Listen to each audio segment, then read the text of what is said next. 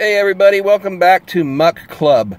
Today our video is pre-recorded and there's a couple reasons for it. Number one, um, today when I'm recording this, it is Father's Day and I'm spending the time with my family. We've got some family coming from out of town and so my mother came home from uh, the rehabilitation hospital this past week and so this is our first opportunity to go out and eat lunch with her, uh, with the whole family. We've got family coming in from out of town to spend the day with with mom and dad. And uh, so, um, you know, for their privacy, I am not, uh, you know, doing a live stream with all my family in the video. And uh, so that's one of the reasons for that. Also, my tripod, uh, again, broke. And so I have to order a new tripod. I'm going to order like two or three of them. Uh, and hopefully they'll be back in, in a couple days or in less than a week. Then I can start getting some videos up for you guys.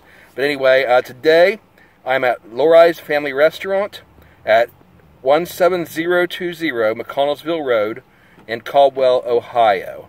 And that's where we're going to be eating today. Okay, so today we are at Lori's Family Restaurant in Caldwell, Ohio. This is a dine-in restaurant, but they do have takeout available. Today I am dining in as it's Father's Day, and I'm having lunch with my dad, my mom who just came home a few days ago from rehab after her stroke, one of my brothers and his son, an aunt and a couple cousins from out of town. Now the restaurant here is spacious with two large dining rooms and a third smaller room for overflow. As we're a party of eight, they put us in one of the larger rooms and set us around a large table where we were seated comfortably. They have daily specials, and today they offered your choice of a baked chicken or baked steak dinner with mashed potatoes and gravy, noodles, and glazed carrots as the vegetable of the day for eleven dollars and nine or eleven dollars and forty nine cents. But I decided to order from the menu. Their dinner selections are served with your choice of two sides, a roll, and butter. And if you want, you can substitute the dine in salad bar for one of your sides for an additional $4.99. The salad bar looked fresh today. There was lettuce for your salad. Those are sliced beets on the bottom left there. Then they have salad toppings such as sliced eggs, tomatoes, cucumbers, and mushrooms. And here's fresh coleslaw, cottage cheese, radishes, and I'm not sure what that was in the back two containers there. I didn't get a good shot of it, but I think that may be pickles on the right. Then they have vinegar oil, bacon bits, sunflower seeds, croutons, and two different types of wafer crackers. Baked beans in the back there and a variety of salad dressings. Shredded mozzarella and cheddar cheeses, pasta, some pudding, sliced onions, sliced green bell peppers, and some more puddings. I've had their salad bar before and I was very tempted by it today, but I decided to try a variety of sides instead for the sake of this review. I decided to go for the country fried steak, which is always fantastic here. I've had country fried steak at other local restaurants, and they don't even come close to Lori's country fried steaks. It's a breaded certified Angus steak, which is one of the best quality kinds of beef you can get, capped with white country gravy. And let me tell you, it is delicious. Well worth the $11.49 for the meal, plus two sides in a roll. For my two sides, I decided to try their french fries and their seasoned fries, since I've been comparing fries from other local fast food places.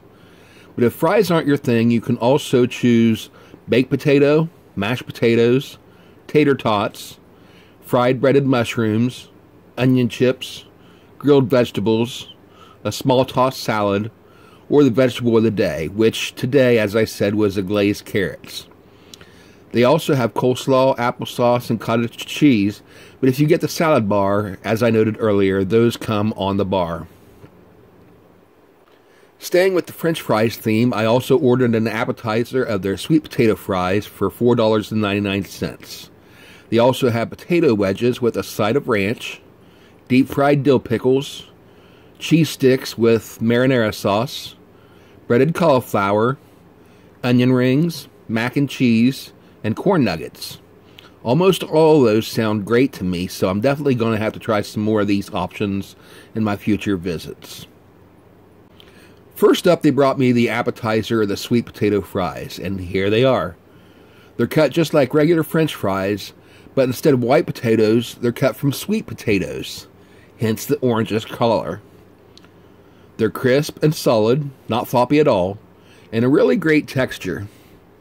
I didn't care for sweet potatoes growing up, but my taste buds apparently changed because I really enjoy them as an adult, particularly sweet potato pie around Thanksgiving season. But these fries have a really nice sweet potato taste. Fresh, crispy, as I said, see how easily they snap, and leaving a very pleasant taste in your mouth.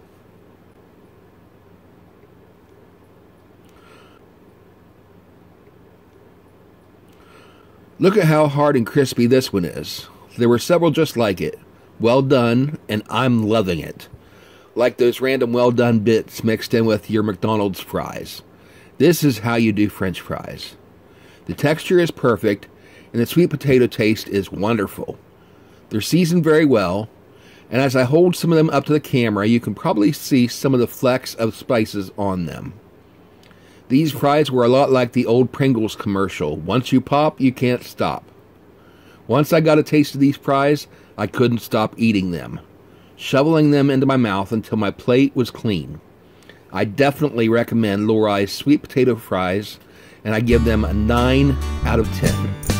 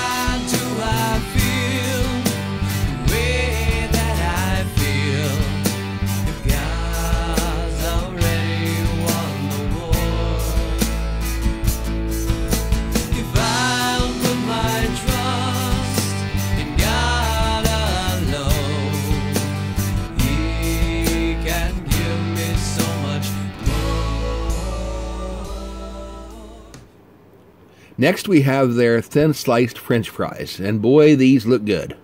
As you can see, they're sliced with the skin still on the potatoes, and personally, I really like that. So I grab a handful and toss them into my mouth. A completely different texture from the sweet potato fries. These are greasier, floppier, and they kind of bunch together. Hence why I grab a handful instead of just one at a time. Now, they're not excessively greasy to the point that they leave a thick residue on your fingers. I didn't have to wipe my fingers constantly, but there was that slight greasy moisture to them. And I know that's probably not the healthiest sign, but darn it if it doesn't make them taste good. These are well done, well seasoned, and very flavorful. They remind me of McDonald's fries a little bit, but maybe that's because of the thickness and the texture. But also a little bit like a bloomin' onion texture wise. If you never had a if you never had a bloomin' onion, you need to try one sometime. They're definitely not healthy, but they are freaking delicious. But anyway, these are fantastic fries. Almost as good as the sweet potato fries. I'll give these an 8 out of 10. Very enjoyable, and I would definitely get them again, but those sweet potato fries were darn near perfection.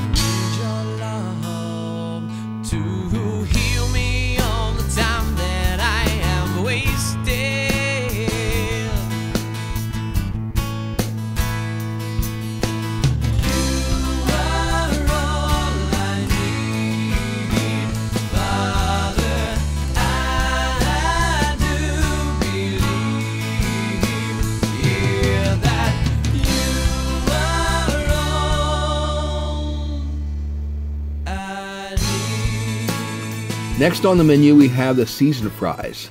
Thicker cut, and as you'll see, some of them are almost like potato wedges. So they literally have a huge variety of potato options for you to choose from. They're all different, and each has its own qualities that make it stand out. These particular fries are well seasoned, as you can see the flecks of seasoning glistening on the fries, and they're sliced with the skin still on them. Once again, a nice touch in my opinion. They vary in size from wee little nubs to a couple fries that are actually a bit longer than the bowl that they're served in. They're crispy and undercooked compared to the others that we've tried, but that's not a bad thing. In fact, I grew up on a farm and I remember eating uncooked potatoes as a kid on occasion. While we would sit with a paring knife and peel the fresh potatoes from the garden, occasionally we'd just bite into one and eat it right then and there. It was a unique taste, and these remind me of that. Nice and crisp on the inside with a solid crunch, and the seasoned exterior gave them an extra level of flavor. These fries were served very hot, and you can see me at some points here blowing on them and even on my hands, uh, shaking my hands a little bit to cool them down. These I will give a 7.5 out of 10.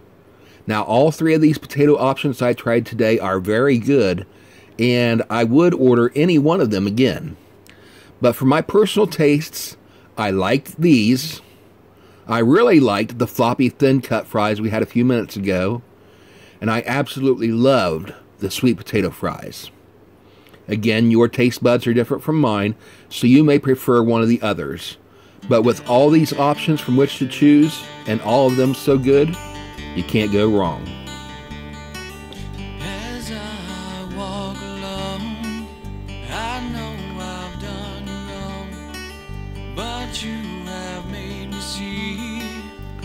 That you believe in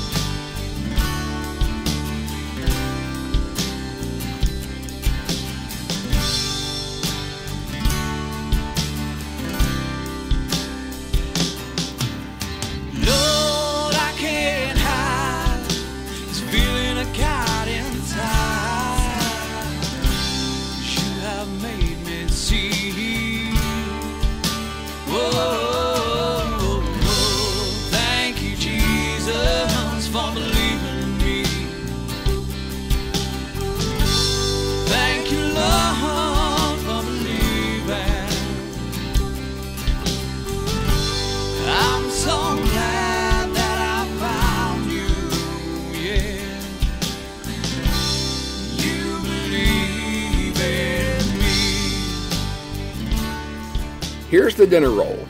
It's soft and a nice color. It's kind of reminds me of the brown and serve rolls my mom used to fix when we were kids.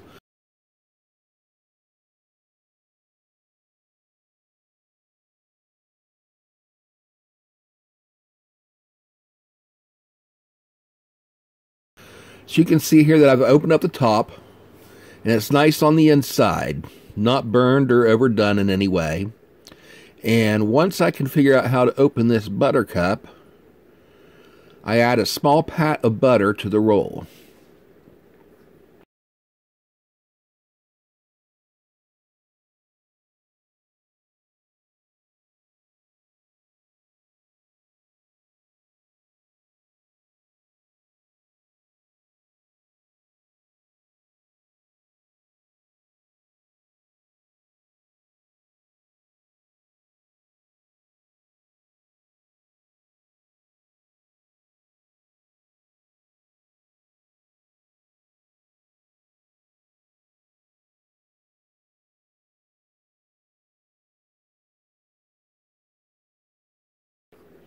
And as you can see the butter starting to melt already, you can see that the roll is warm and fresh. It's got a good taste, once again reminding me of the brown and serve rolls from my childhood. Just a little bit dry, so I scoop up a bit of gravy from my steak to finish it off.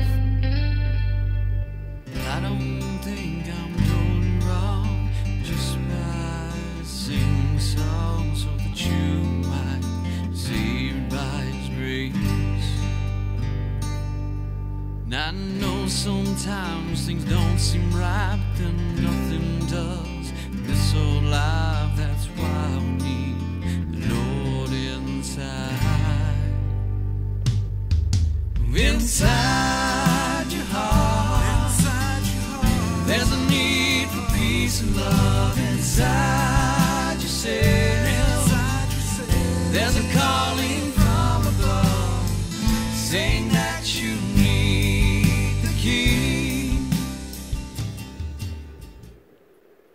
And finally, we have the country fried steak. Once again, this is certified Angus beef with our signature white country style gravy. You can see the flecks of seasoning there in the gravy. Now, I love their country fried steak, and nine times out of ten, that's what I would normally order here. Only usually I would order it with mashed potatoes and brown gravy. That's white gravy on the steak, brown gravy on the potatoes. Today, the gravy is just a little bit disappointing. It doesn't seem as fresh as usual, and it's kind of clumpy. The taste is still great, but the texture is a little bit off. So, where their country fried steak is literally normally a 10 out of 10, today I would say it's an 8.5. It tears apart easily, but it's usually more tender. It must just be an off day for their country fried steak because I'm telling you, every other time I've ordered it, it has been perfection.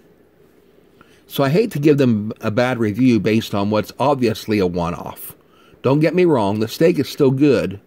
It's just not perfect today like it usually is here. So while I give their country fried steak on any other day a 10 out of 10, today I give it an 8.5. Still a respectable score.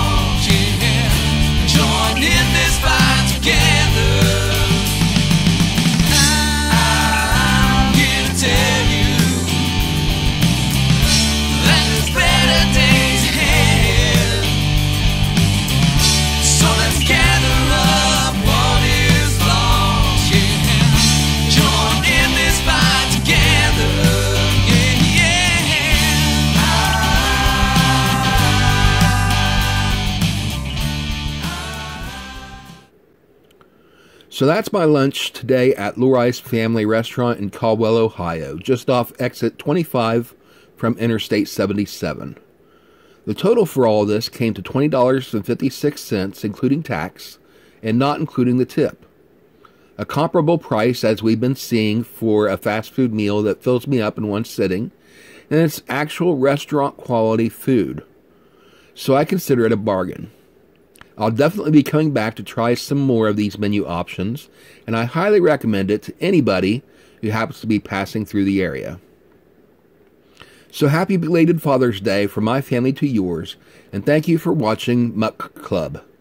If you liked today's video, please tap the like button and consider leaving a comment, maybe recommending someplace that you think I should try out in a future video. If you'd like to see more content here like this, subscribe to the channel and turn on your notifications as this series is usually live streamed on Sunday afternoons. And getting notifications will help you to join us in time to chat live and give your own feedback. And of course, it helps my channel with the algorithm. We're just under 300 subscribers as of the time I record this, so we're well on our way to 500. And when we reach 500 subscribers, I'll have a special giveaway for a random subscriber. So recommend the channel to your friends, and you can all have a chance to win the prize. Anyway, thanks again for being part of our online family. Happy Father's Day, and we'll see you throughout the week with reaction reviews, the light side music reactions, conversations, and then next weekend, another episode of Muk Club. Have a great week, and we'll see you then. Bye, everybody.